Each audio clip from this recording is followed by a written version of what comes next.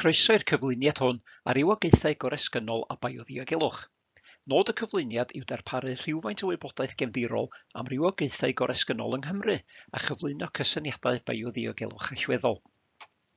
Mae biodiogelwch yn ymwneud â chamau gweithredu i leihau cyflwyniad, lledaeniad ac emsefydliad rhywogaethau goresgynol.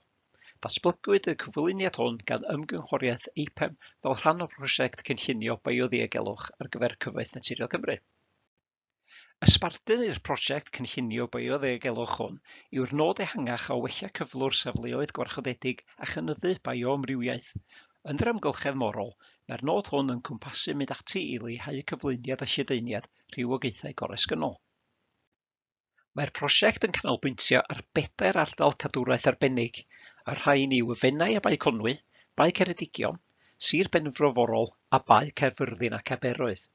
Fel rhan o'r prosiect, byddwn yn ymweld â'r pedair ACA i ymgysylltu â rhanddeiliaid o bob sector ac i gynnal gweithau wyneb yn wyneb i drafod cynllunio a chytuno ar fesurau bioddiogelwch yn y dyfodol. Byddwn hefyd yn cynhyrchu cynlluniau gweithredu rhywogaethau a chynlluniau gweithredu llwybr i liwio cynllunio bioddiogelwch yn y dyfodol. Yn gyntaf, beth mae rhywogaethau estron goresgynnol yn ei olygu? Rhywogaeth estron yw rhywogaeth sydd wedi'i chyflwyno gan bobl i ardal newydd lle y fyddai i'w gweld fel arfer. Nid yw'r rhan fwyaf o'r rhywogaethau estron hyn yn achosi unrhyw broblemau yn eu hamgylchedd newydd. Fodd bynnag, mae rhwng 10% a 15% o'r rhywogaethau hyn yn gallu achosi niwyd ecolegol a chymdeithasol economaidd. Mae rhain yn cael eu calw'n rhywogaethau estron goresgynnol, neu ins yn gryno. Beth felly yw effeithiau ecolegol neu amgylcheddol ins? Dyma ambell enghraifft. Mae ins yn cael ei cyfrif ymhlith y pump prif achos o golli bioamrywiaeth yn fyd eang. Mae hyn oherwydd eu bod yn gallu ysglyfaethu ar rywogaethau brodorol a newid cronfeydd genynnau drwy groesi. Mae ins yn gallu gystadlu well na rhywogaethau brodorol am adnoddau fel bwyd a lle. Mae rhai ins yn gallu newid cynefinoedd gan newid strwythyr y swbstrat a'r ecosystem Maen nhw'n gallu rhwystro ymdrechion i adfer canofinoedd, er enghraifft mewn gwlau morwellt neu welau wistrus. Yn olaf, maen nhw'n gallu cyflwyno clefydau a pharasitiaid allai ddinistrio poblogaethau brodorol. Mae'r ddau lun yma'n dangos rhai o effeithiau posib uns. Ar y chwith mae cranc sydd wedi cael ei lygru'n sylweddol gan chwistrellau môr lledr ymhlith pethau eraill. Mae llygredd sylweddol yn gallu amharu ar allu creadur i ddianc rhag ysglyfaethwyr neu i ddal ysglyfaeth, sydd yn y pen draw yn effeithio ar ei allu i oroesi. Mae'r llun ar y dde yn dangos cregyn ewin mochyn Americanaidd sydd wedi dechrau croni mewn rhai ardaloedd rhwng Llanw a Thrai. Mae'r rhain yn ardaloedd o swbstrad ecolegol bwysig wedi eu creu gan lyngu'r diliau sebelaria a allai fod mewn perigol os i rewi mochyn yn parhau i gronni yma. Nesaf, dyma symud ymlaen at effeithiau economaidd a chymdeithasol ENS. Mae UNS yn gallu difrodi a tharfu ar gyflustodau cyhoeddus a seilwaith waith er dŵr, er enghraifft drwy flocio pibellau a thacu dreiniau. Maen nhw'n gallu tarfu ar weithgareddau hamdden a chael effaith negyddol ar dwristiaeth, drwy lygru cychod er enghraifft. Mae UNS yn gallu effeithio ar bysgota a dyframaethu er enghraifft drwy ysglyfaethu ar ei wygeithau masnachol bwysig neu gystadlu yn well am adnoddau neu drwyfygu offer. Am can gyfrifodd papur diweddar fod 117 biliwn euro wedi ei wario rhwng 1960 a 2020 ar drin a rheoli ins. Mae papur diweddar arall hefyd wedi amcangyfrif bod ins yn costio 4 biliwn o bunna i economi'r Deyrnas Unedig yn flynyddol. Mae'r ddau lun yma'n dangos rhai o effeithiau economaidd a chymdeithasol UNS. Mae'r llun ar y chwith yn dangos bwy sydd wedi elygrin sylweddol mewn marina. Mae costau glanhau a chynnal offer yn gallu bod yn feichus. Mae'r llun ar y dde yn dangos gwichiad môr a gafodd ei ddal gan gwch bysgota gwichiad mesnachol, ac mae'n cynnal llwyth o ewinedd moch Americanaidd. Mae'n gallu cymryd llawer amser i gael gwarod ar yr ewinedd moch gyda pherigol o ddifrodi cragen y gwichiad – gan ostwng ei werth ac effeithio ar fywoliaeth bysgotwyr. Sut mae uns yn lledaenu yn yr amgylchedd morol? Maen nhw'n lledaenu drwy'r hyn sy'n cael ei galw'n llwybrau neu fectorau. Dulliau ffisegol sy'n digwydd trwy gyfrwng pobl i'w rhain sy'n trosglwyddo rhywogaethau o un lleoliad ddeurddol i un arall. Mae enghreifftiau o lwybrau yn yr amgylchedd morol yn cynnwys symudiadau llongau, fel llongau masnachol neu longau milwrol, Mae'r llongau yma'n gallu teithio pellteroedd helaeth rhwng porthladdoedd, gyda'r posibilrwydd y bydd uns yn cael eu trosglwyddo. Mae modd eu cario fel biolygredd ar gyrff llongau, mewn cistiau môr neu gilfachau eraill. Mae'r diagram hwn yn dangos rhai o'r mannau ble mae uns yn gallu llechu. Ffordd arall i longau ledaenu uns i mewn dŵr balast.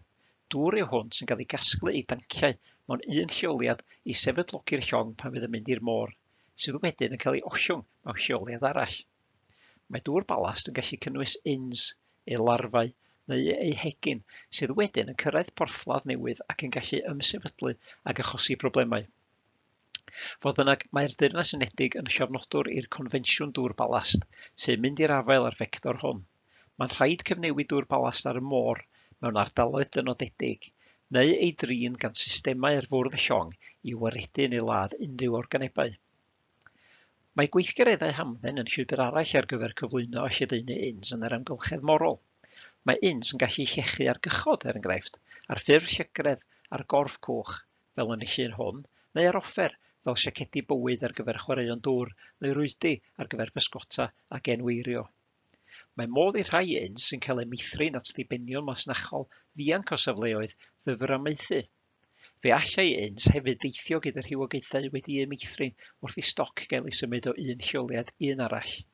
Y gred yw mai dyma un o'r ffyrdd y cafodd ddiwinedd moch Americanaidd eu cyflwyno i'r Deyrnas Unedig.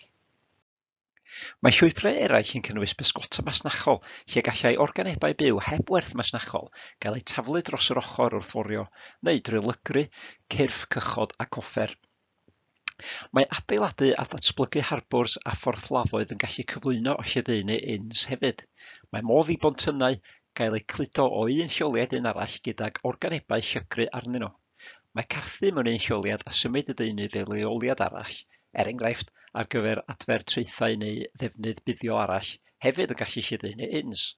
Ond mae rhagor ymchwil yn cael ei wneud i allu organebau i oroesi yn ystod y broses on. Nesaf, rydyn ni'n mynd i edrych ar lwybrau posib ym mhob un o'r pedair ardal cadwraeth arbennig sy'n rhan o'r prosiect hon, gan ddechrau gyda ACA y Fenai a Bai Conwy. Mae'r ACA yma yn agos at lonydd cludo masnachol prysur, fel sy'n amlwg o'r map gres hwn mewn adroddiad diweddar gan Cyfaith Naturiol Cymru. Mae tywyllwch y pixel yn dangos prysurdeb y llwybr hwnnw. Mae cychod hamdden a gweithgareddau hamdden eraill fel rhwyfo môr a phatalfyrddio yn boblogaidd iawn yn yr ACA, gyda nifer o glybiau a chanolfannau rhyd yr arfordir. Mae'r fennau hefyd yn ardal bwysig ar gyfer cynhyrchu wistrus a chregin gleision. Mae pysgota a chasglu yn digwydd ar draws yr ACA. Mae llongau fferi teithwyr a llongau mordaeth yn defnyddio'r porthladdoedd mwyaf. Mae ffermydd gwynt ar y môr hefyd yn cynnig cam i uns ymledaenu i'r ACA. Nesaf rydyn ni'n mynd i ACA Bai Ceredigion. Mae gweithgareddau hamdden yn cael eu cynnal ar hyd yr arfordir o hwylio cychod i badlfyrddio. Mae'r map gres yn dangos rhai o'r ardaloedd ar yr arfordir mewn gwyn. Nid yw hynny o reidrwydd yn golygu nad oes gweithgaredd yn digwydd yma, ond efallai nad oes data ar gael. Mae llawer o gychod teithiau bwyd gwyllt yn gweithredu yma i Ceredigion. Mae llongau fferi teithwyr a llongau mesnachol yn hwylio allan Abergwaun a allai, er y teller i ffiniau'r ACA, gynnal uns a lleolidaenu ar hyd yr arfordir i'r ACA. Mae potio, pysgota a chloddio abwyd hefyd yn digwydd yn yr ACA. Yn ACA sydd benfro forol, mae aberddau gleddau yn cychwarae rhan allweddol mewn morio masnachol yn cynnwys mewnforio ac allforio, petrocemegion ymhlith pethau eraill. Mae cychod hamdden, chwaraeon dŵr ac arfor gampau yn boblogaidd ar hyd yr arfordir. Mae cychod twristiaeth yn mynd ag ymwelwyr ar deithiau i ynysoedd cyfagos ac i bysgotag enwaidd. Mae'n hefyd rhywfaint o ddyfr amaethu a chynyrchu pysgol cregyn a meithrin gwymon o fewn yr ACA. Yn olaf, yn ACA Bae Cerfyrddin ac Aberoedd, mae cychod hamdden yn defnyddio harbwrs fel Dinbych y Pysgod ac o amgylch Penrhyn Gwyr yn ardal bai Abertawe. Mae gweithgareddau hamdden eraill, fel Chwaraeon Dŵr a Physgota, yn cael eu cynnal ledled yr ACA ac mewn cyrchfannau poblogaidd fel Saundersfoot a Phen Tywyn. Mae cilfach tywyn yn cynnal man cynaeafu cocos seiliedig ac mae gwaith brosesu'n digwydd mewn lleoliadau o amgylch yr ACA. Yn olaf, er mae prin i'w gweithgarwch llongau mesnachol yn yr ACA ei hun, mae llwybr prysur i ardal Abertawe yn pasiwn agos iawn ac fe allai beri risg i'r ACA. Rydyn ni nawr yn mynd i roi sylw i rai enghreifftiau o uns-morol sydd wedi'u hasesu fel rhai blaenoriaeth uchel ar gyfer monitro a rheoli yng Nghymru. Mae'r ewin mochyn, crepidula fornicata, yn frodor i Ogledd America a chafodd ei gofnodi yn y Deyrnas Unedig am y tro cyntaf ym 1872. Mae'n rhywogaeth nonedig sy'n ffurfio cadwini o unigolion lluosog gyda'r creaduriad benywaidd mwy ar waelod y gadwyn a rhai gyrywaidd llai yn cysylltu'n uwch i fyny. Mae'r ewin mochyn yn gallu cystadlu â rhywogaethau brodorol am le a bwyd, ac yn gallu siagru pysgod cregyn gan leihau eu hoes. Maen nhw hefyd yn gallu newid swbstradau, er enghraifft, gorchuddio ardaloedd o faddodion meddal blaenorol gyda'i cregyn caled o unigolion marw a byw. Mewn rhai ardaloedd, mae haenau trwchus o gregyn ewin mochyn yn gallu gorchuddio gwely'r môr gyda dwysedd a dros 2,000 o gregyn unigol fesul metr sgwar. Mae poblogaethau wedi eu canfod ledled Cymru yn enwedig ar yr arfordir deheuol ger Aberdaugleddau ac Abertawe, ac yn y gogledd-orllewin a'r Afon Menai. Yr uns nesaf yw Cranc Manegog Tsieina, Erioceirsinensis, sy'n frodorol i Fasyn y Môr Melyn yn China ac y gofnodwyd gyntaf yn y Deyrnas Unedig ym 1935. Mae crancod manegog aeddfed yn byw mewn amgylcheddau dŵr croew, gan dyrchu ei gwalau ar dorlannau afonydd. Yn ystod eu tymor at genhedlu, mae cancod aeddfed yn mudo i lawr yr afon i ddyfroedd hallt a hawinog i fridio. Mae cancod benywaidd yn ffrwythlon iawn, gan gynhyrchu rhwng chwarter miliwn ac 1 miliwn o wyau. Mae'r wyau wedyn yn cael eu gori ar wylod corff cranc benywaidd am hyd at ddau fus cyn iddyn nhw ddeor. Dim ond unwaith mae crancod aeddfed yn mudo er mwyn atgenhedlu, er y bydd tor llwythi lluosog yn cael eu cynhyrchu yn ystod y tymor atgenhedlu gan farw unwaith y bydd y tymor siliau drosodd. Mae'r larfau, fodd bynnag, yn aros yn y golofn ddŵr am oddeutu mis cyn setlo a ddatblygu ei ffurf cranc nodweddiadol. Mae'r crancod ifanc wedyn yn symud i fyny'r afon i ddŵr croew lle maen nhw'n datblygu i fod yn grancod llawn dŵf. Mae ei, mae ei heffeithiau yn cynnwys ansefydlogi torlannau afonydd drwy dyrchu a pheri tafferthion ei bysgotwyr drwy ddifrodi rhwydi a dwyn abwyd. Mae'r llun hwn yn ddangos rhai o'r tyllau nythu mewn torlan. Yng Nghymru, cafwyd rhai cofnodion ar arfordir y de, ond mae dwysedd uwch o adroddiadau yn y Gogledd a'r Gogledd Orllewin, yn Aberafon Dyfrdwy a bai Conwy yn benodol. Nesaf mae'r chwistrell fôr-garped Didemnum vexillum sy'n flodor i Japan. Mae hon yn chwistrell fôr gytrefol sy'n cynnwys unigolion niferus sy'n dyfu drwy egino, lledaenu fel carped i fygu swbstradau yn ogystal â chreaduriaid a phlanhigion brodorol.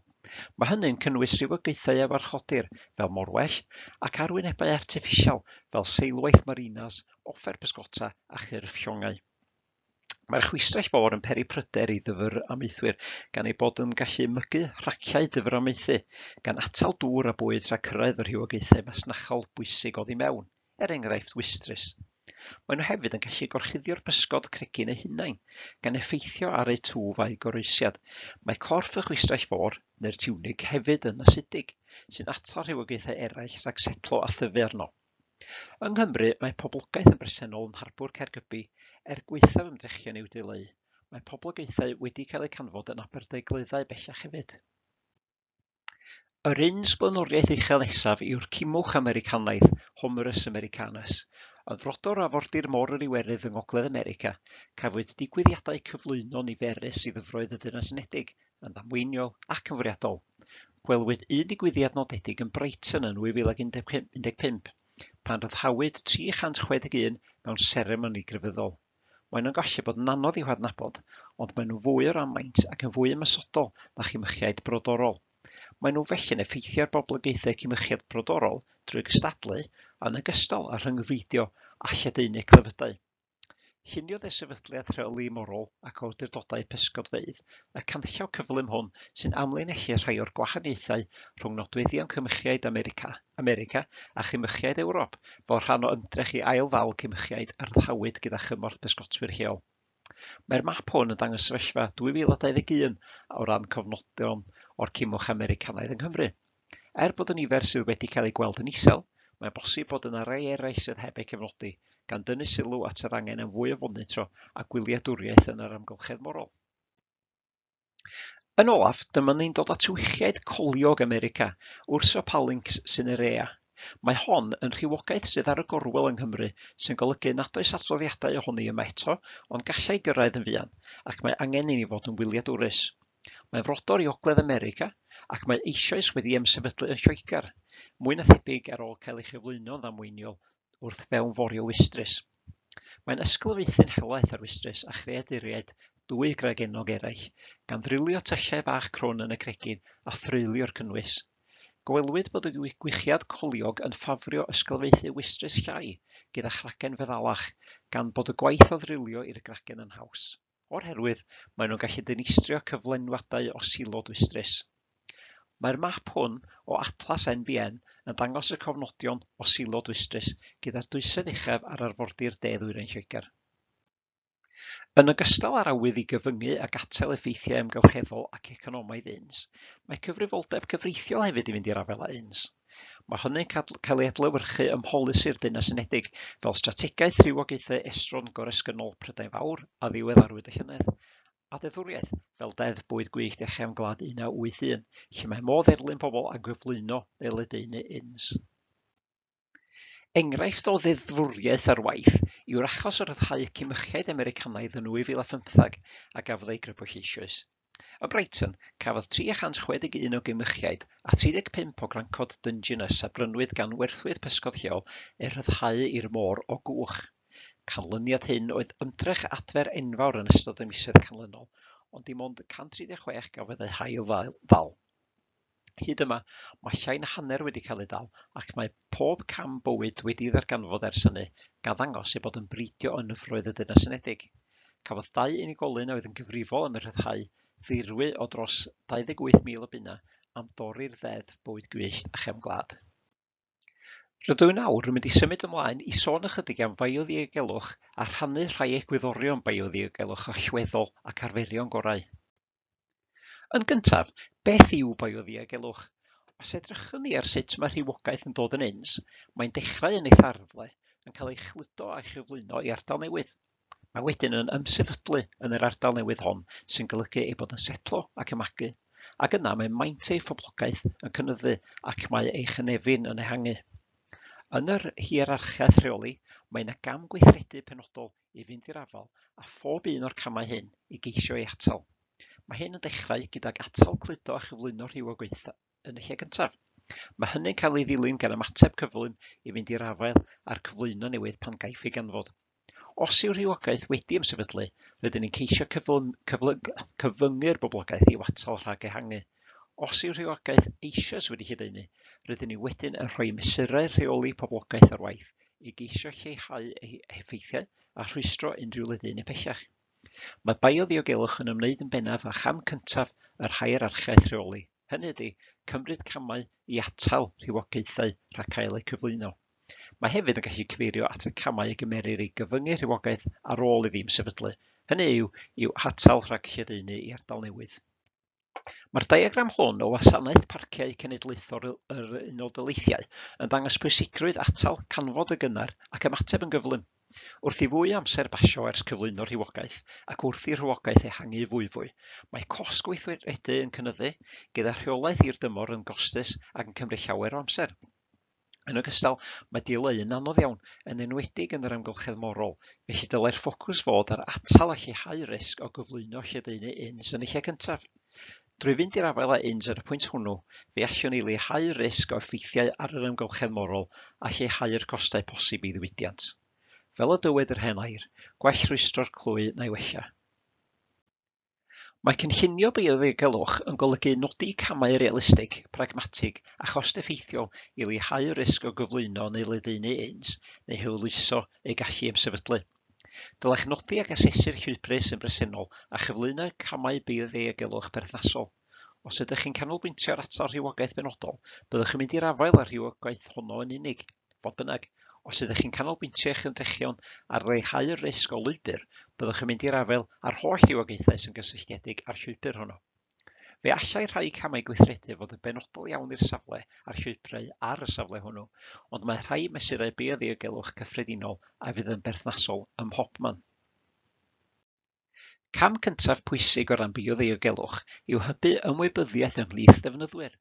Mae modd gwneud hyn drwy hysbysebu a hyrwyddo'r canllawiau presennol, er enghraifft, ymgyrch, edrych, golchi, sychu, a gwybodaeth am the Green Blue, menter amgylcheddol y Gymdeithas Hwylio Frenhinol. Bydd gosod hysbysebion gweladwy mewn ystafelloedd offer, mannau gorffwys a swyddfeydd yn helpu pobl i gynefino ar canllawiau. Mae adnoddau ar gael am ddim ar wefan ysgrifenyddiaeth rhywogaethau estron Goresgynol Prydau Fawr. Mae'r Gymdeithas Hwylio Frenhinol, Frenhinol hefyd wedi cynhyrchu canllawiau fideo ar YouTube ar sut i edrych, golchi a sychu eich cychod, badau dŵr a goffer. Mae mesurau arfer da syml y ffordd o sicrhau manteision, Er enghraifft, lle bod yn ymarferol, tynnwch strwythurau artiffisial a coffer o'r dŵr pan nad ydyn nhw'n cael eu defnyddio. Yn gyffredinol, mae uns yn ffafrio strwythurau artiffisial ac mae cael gwared ar yr hyn fedrwch chi yn fesur bioddiogelwch sylfaenol a hawdd. Fe allai hynny gynnwys tynnu temau dros dro o'r parthau twf sy'n cael eu ffafrio, cael gwared ar unrhyw raciau symudol neu strwythurau eraill, fel hen glistogau, raffau, rhwydi, cadw a bagiau wistrus. Dull llwyddiannus arall yw awyr sychu'r hyn allwch chi pan fyddwch chi'n gallu. Mae dad-hydradu yn lladd y rhan fwyaf o uns morol a dyfrol, os nad pob un.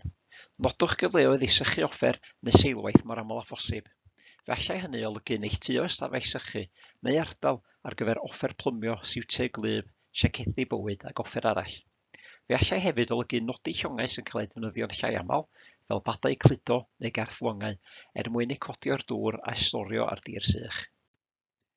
Agwedd arall ar faioddiogelwch i gwybod pa rywogaethau sydd ar eich safle a chadw llygad am unrhyw rywogaethau newydd.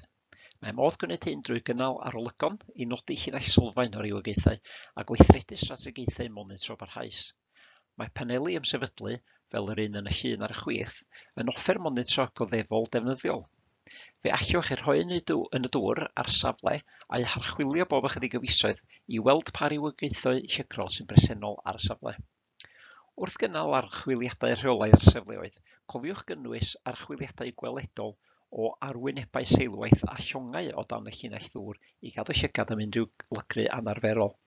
Mae'n syniad da annog staff i dynnu lluniau a rhoi gwybod os ydyn nhw'n gweld unrhyw beth anarferol. Darparwch yn llawiau adnabod un allweddol ar gyfer staff ac ymwelwyr. Mae Cyfath Naturiol Cymru wedi cynhyrchu canllawiau yn y Gymraeg a'r Saesneg sydd ar gael fel copïau digidol a chiopiau caled.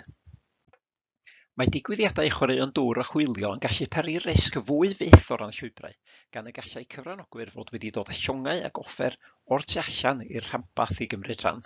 Mae angen cynnydd cyffredinol mewn mesurau bioddeigelwch ym mhob digwyddiad o'r fath. Dylid anfon gwybodaeth a gofynion biodiogelwch gydag unrhyw gyfathrebu sy'n digwydd o maen llaw, megis cyfrestru ar gyfer y digwyddiad. Yn ystod digwyddiadau risg uchel, mae angen sgwrs fer neu gyfarfod briffio cyn pob digwyddiad i egluro pwysigrwydd gelwch yn ogystal at, ac atgoffa cyfranogwyr i ddilyn mesurau biodiogelwch y safle. Fe allai staff neu wirfoddolwyr fod y bresennol i hybu ymwybyddiaeth o uns a chynorthwyo gydag unrhyw gamau biodiogelwch angenrheidiol. Os oes modd, byddai'n syniad cynyddu ar geiledd a defnydd o unrhyw gyflesterau bioddiogelwch ar y safle, ynghyd â chyfarpar bioddiogelwch mewn gorsafodd glannau dynodedig. Gwnewch yn siŵr fod cyfranogwyr yn glanhau ac yn sychu hoffer ar ôl cymryd rhan. Wrth lanhau offer a chychod, mae'n bwysig atal dŵr gwastraff a deunydd rhag mynd yn ôl i'r môr. Fe allai'r deunydd gwastraff gynnwys olion o ens a allai fod yn hyfwy wrth ychwelyd i'r dŵr. Fe allai natur ddarniog y gwastraff hefyd helpu i'w gwasgaru i ardaloedd newydd. Mae casglu deunydd gwastraff hefyd yn arfer da i atal fflochiau neu ddarnau o baent gwrthlygru rhag mynd i'r dŵr ac effeithio ar rywogaethau lleol. Mae cyfleusterau golchi sy'n casglu gwastraff i'w gweld yn y lluniau yma. Mae'r system hon yn cynnwys mat gydag ymyl a phwmp, Mae'r dŵr gwastraff yn cael ei bwmpio allan i'w drin a'i ail-ddefnyddio, ac mae'r deunydd gwastraff yn cael ei gadw, ei gasglu a'i weredu'n briodol ar dir. Fodd bynnag, mae systemau o'r fath yn gallu fod yn fuddsoddiad costus. I gloi, mae creu a dilyn cynllun bioddiogelwch yn gan bwysig. Mae cynlluniau bioddiogelwch yn cydnabod y risg bosib y gallai gweithgaredd ei achosi o ran cyflwyno lledaenu uns-morol a'r mesurau bioddiogelwch sy'n bosib i liniaru'r risg hon. Fel arfer, mae'r cynlluniau hyn yn cynnwys cyflwyniad sy'n sôn am nodau ac amcanion y cynllun. Dylai hyn gynnwys ymhle ac i bwy mae'r cynllun yn berthnasol. Wedyn, adran sy'n nodi'r risiau y bydd y cynllun bioddiogelwch yn ei cwmpasu, er enghraifft llwybr penodol. Y mesurau i fynd ar afael ar risgiau, sef fel arfer ar ffurf camau gweithredu cyffredinol neu benodol i'w cymryd ar safle. Camau yn nodi sut y bydd y cynllun yn cael ei weithredu, a phroses adolygu sy'n nodi pwy sy'n gyfrifol am adolygu'r cynllun a pham mor aml fydd hynny'n digwydd. Nid yw cynlluniau beioddiogelwch yn ofyniad cyfreithiol ar hyn o bryd, ond maen nhw'n cael eu hystyried yn arfer da. Yn gyffredinol, mae rhaid i gynlluniau bio-ddiogelwch fod yn gryno ac yn gyfarwyddol. Rhaid iddyn nhw fod yn ymarferol ac yn ddefnyddiol. Diolch am rando ar ein cyflwyniad ar rywogaethau estron goresgynnol a bioddiogelwch. Gobeithio eich ei fwynhau a'ch bod chi wedi dysgu am amcanion cynllunio bioddiogelwch ar gyfer Cymru. Y cam nesaf yn y prosiect hwn yw cynnal cyfres o weithiau wyneb yn wyneb i drafod a chytuno ar gamau bioddiegelwch i'r dyfodol ar gyfer pob un o'r pedair ACA targed. Bydd y cyntaf o'r gweithiau hyn yn cael ei gynnal yn ystod Gwanwyn 2024. Gobeithio eich gweld chi yno. Diolch unwaith eto a hwyl fawr.